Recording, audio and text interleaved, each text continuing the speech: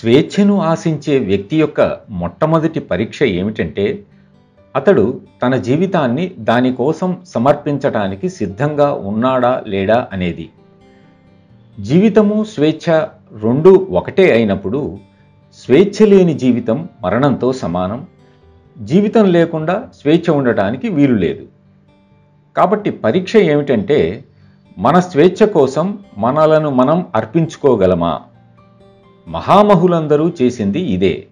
కొంతమంది చేయలేదంటే ఆ అవసరం రాకపోవడమే. నాకు అర్థమైనంత వరకు కేవలం ఒక్క భారతదేశంలోనే మతాతీతులై మహర్షులైన గొప్ప వ్యక్తిత్వాలను పవిత్ర భావంతో చూస్తారు ఆరాధిస్తారు పూజిస్తారు. అది నిజమైన స్వేచ్ఛ.